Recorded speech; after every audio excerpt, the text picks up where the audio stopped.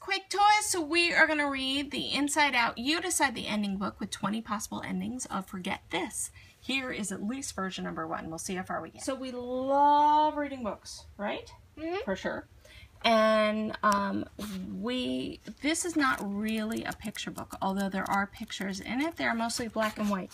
But the nice thing is if you get the book yourself, Like, you can follow joy along. juggling memories. Yes, it is Joy juggling memories, which I don't know if she would actually do that, but maybe. Welcome to headquarters. Meet the five emotions who live inside Riley's mind. Do you remember their names? Joy, disgust, sadness, anger, and fear. Very good. And there's actually one more surprise. There actually is one more emotion that people have, and they didn't mention it in the movie, and it is surprise. That's true. They help Riley make decisions. What should she wear today? What should she eat? Where should she sit during lunch? Riley's emotions are with her every step of the way. It's been two months since Joy and Sadness got sucked into the mind world, and Riley almost ran away from home. Joy and Sadness have vowed never to leave headquarters again because Riley needs all of her emotions to get her through the day, through each day. But now Anger is on a mission, and it's up to you to help him. He's going into the mind world to stop an obnoxious jingle from playing over and Jingles. jingle. I'll explain in just a sec. Jingle from playing over and over in Riley's brain. Depending on the path you choose, anger will travel into the unknown with either fear or disgust. Will you help anger succeed or will you get stuck in the mind world? A jingle is like a commercial song and they make them very hard to get out of your head. It's also called sometimes an earworm because it kind of tickles your brain.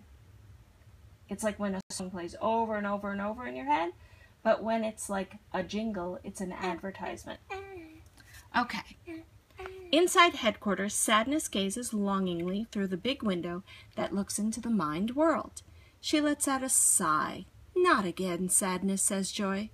I can't help it, Sadness says. It's sad. We'll never get to go back to the mind world again.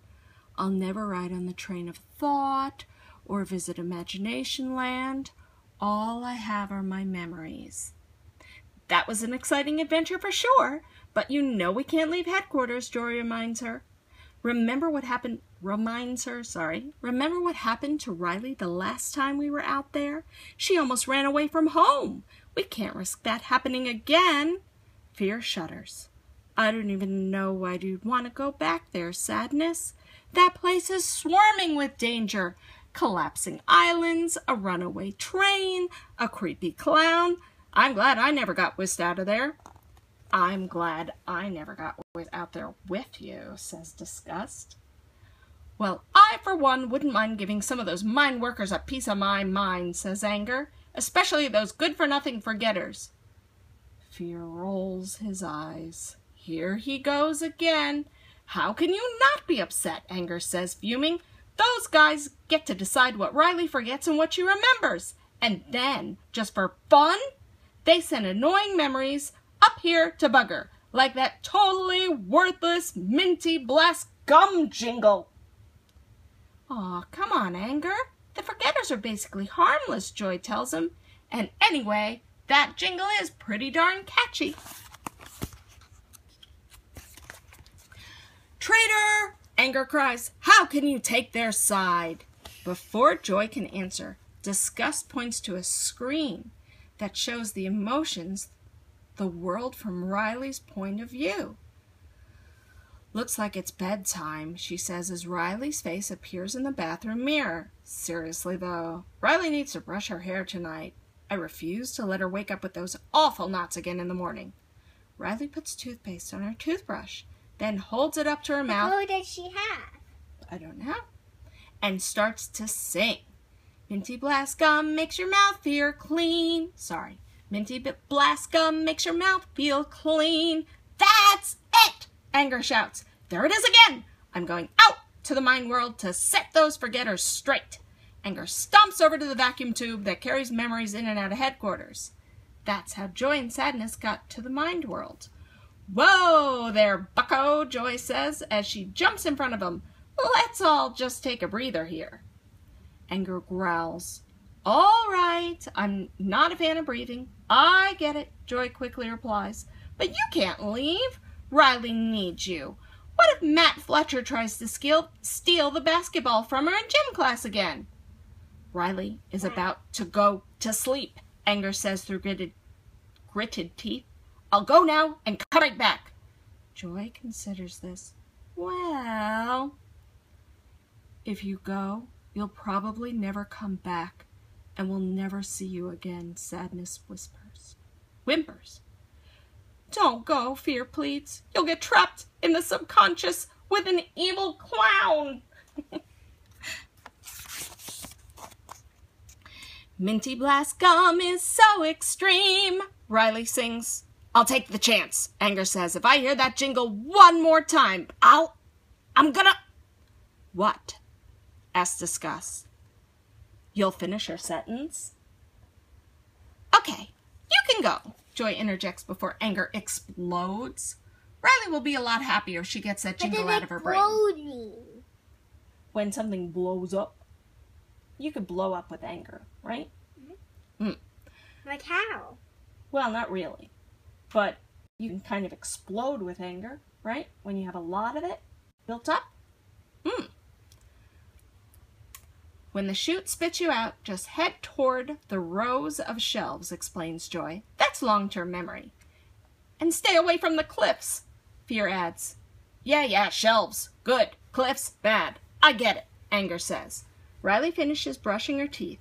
She goes to her room, yawns, and climbs into bed. In just a few minutes, she's asleep, and she starts dreaming right away. All right, I'm out of here, Anger announces. Wait, Disgust says. I'm sorry, I get a little lazy with my consonants, but only when I read. I'll try not to. I think she's having that dream again. Riley's dream plays on the big screen. In it, Riley sees herself sleeping in bed, but then she wakes up, and her hair has, has turned into streams of creepy, crawly spiders. Ah! screams Fear. Gross, Disgust shrieks. Why does she keep having this dream? Are the Forgetters doing this too?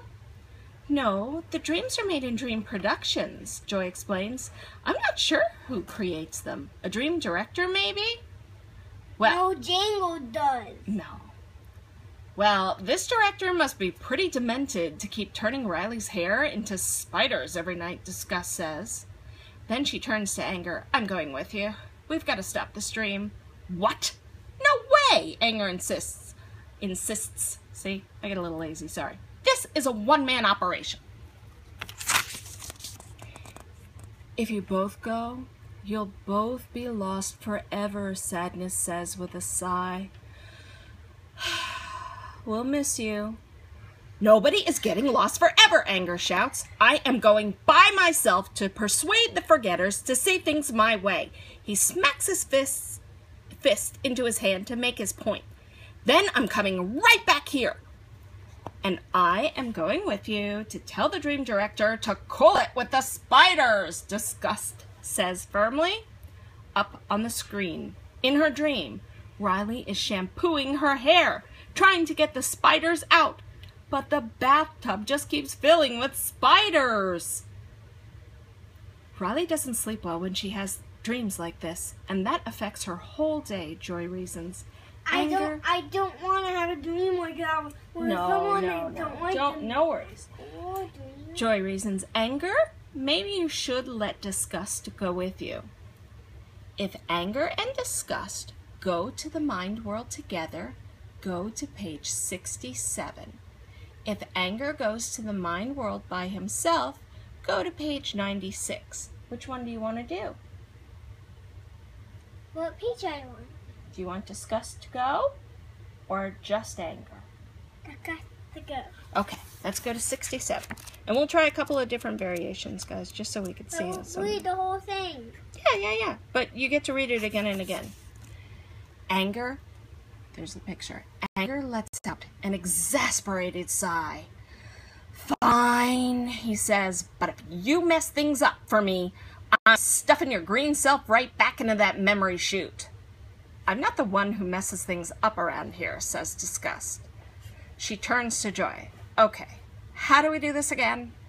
Last time Sadness and I accident got sucked into the memory chute accidentally, Joy explains. But you guys should be able to jump right in. Anger stuffs himself into the chute. I'm coming for you, forgetters, he yells. Disgust jumps in after him. Whoosh! The chute sucks them through the long tubes that leads all the way across the mind world to long-term memory. Inside headquarters, Sadness shakes her head. It won't be the same around here without them. Sadness and I came back. They will too, Joy promises. She looks up at the screen. I just hope they're back before Riley wakes up. She needs all her emotions when she's awake. A few moments later, anger and disgust tumble out into the mind world. They stand up and look around. They're on a wide plateau. What's a plateau? Right, like a flat place. And in the distance, they can see the long stacks of shelves that hold Riley's memories. There are some other buildings beyond them. Anger marches toward the shelves. I'm going to find those forgetters. Disgust follows him. Oh no, she says. We are going to Dream Productions first. Let's do rock, paper, scissors, Anger suggests. Disgust nods. All right.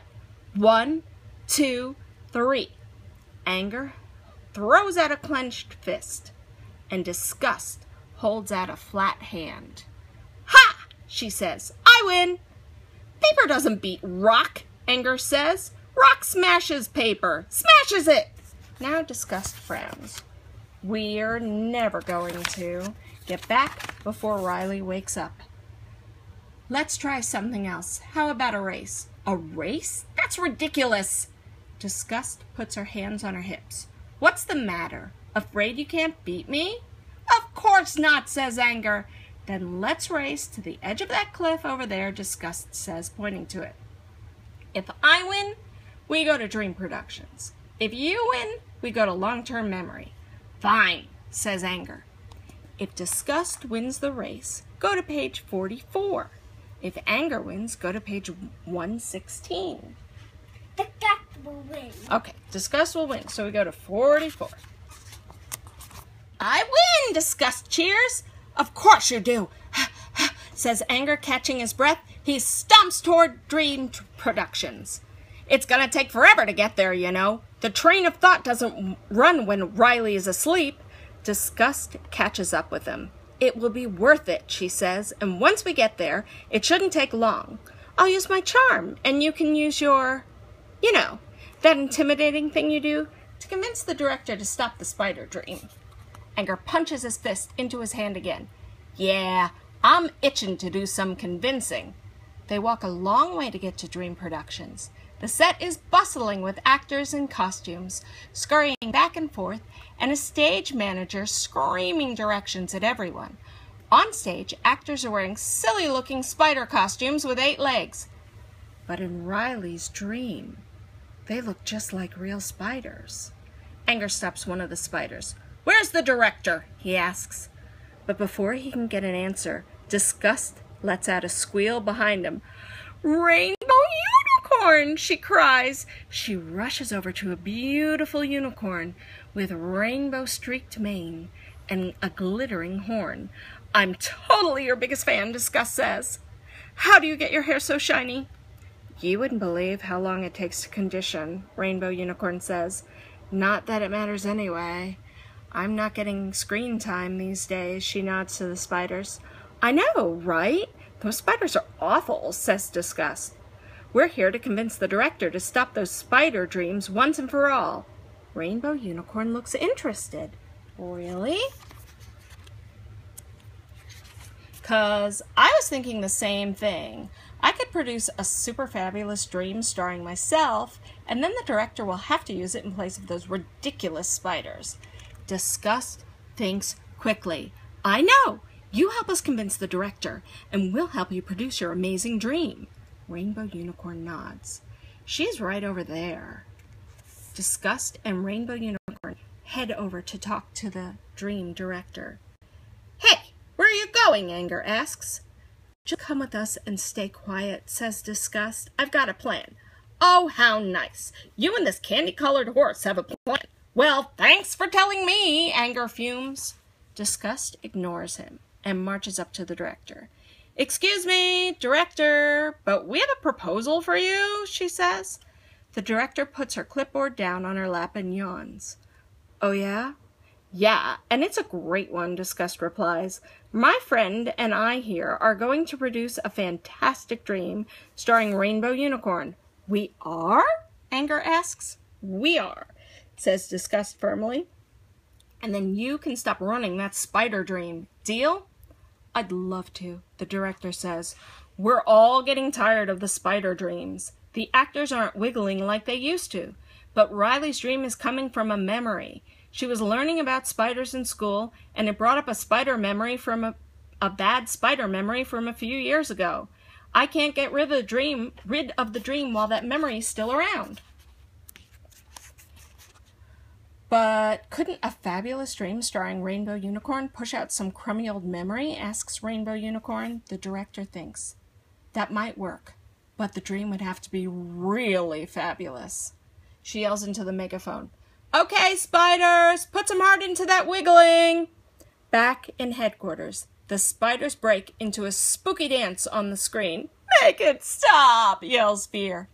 If disgust and anger help Rainbow Unicorn produce a new dream, go to page 62. If disgust and anger search for the spider memory, go to page 88. You're gonna search for the spider memory.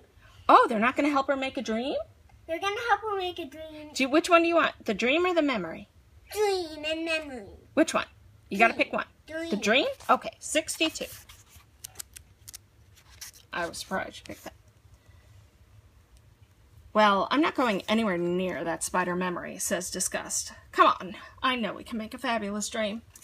You should be our director, says Rainbow Unicorn, batting her long eyelashes. It takes a strong personality to handle a superstar like me. Fine, let's get this over with, says Anger. Disgust. Now she talks. Hmm? Now she talks. Yes. Disgust disappears into the costume room and returns a few minutes later.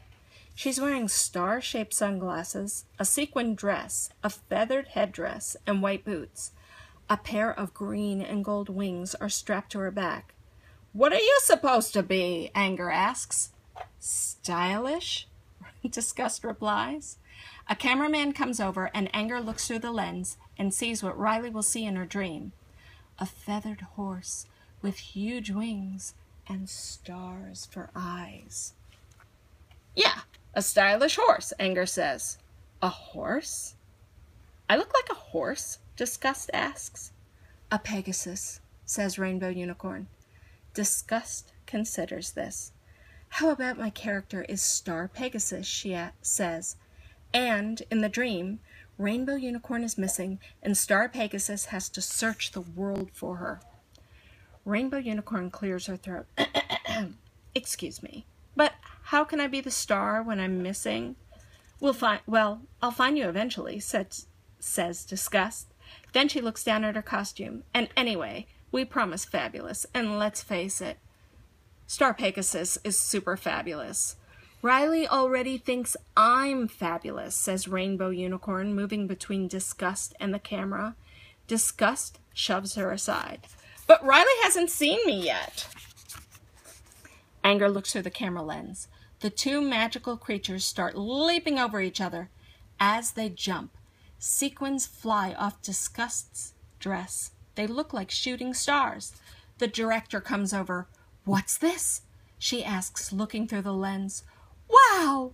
Amazing! Spiders, take five! In headquarters, Joy, Fear, and Sadness watch the new dream playing on screen. Look! No more spiders, says Joy. But it's almost morning, says Sadness. Soon Riley will wake up, and Fear and Disgust won't be here. Poor Riley. Anger and disgust. Yeah, they made a mistake. Wow, good spotting, Ladybug. High five. Back in Dream Productions, and fear is even in the picture. Back in Dream Productions, Disgust realizes they need to get back to Riley. Sorry, we've got to get back to headquarters. But what about the forgetters? Anger asks. No time, says Disgust. Let's go! Anger and Disgust race to long term memory as quickly as they can. They find a recall tube and get sucked back up to headquarters. You're all right, says Fear, running to hug them. Yes, yes, we're fine, except we didn't get rid of that annoying jingle, Anger says. But you got rid of the dream, and Riley will be happy, says Joy. She'll be even happier when I go back there tomorrow night. Alone, Anger says. I won't rest until that jingle is gone forever. The end. Now, there's lots and lots of pages that we have not read, so we will reread this in our next video. Thanks for watching, guys. We'll see you next time. Please subscribe to Quake Toys for more stories and more fun.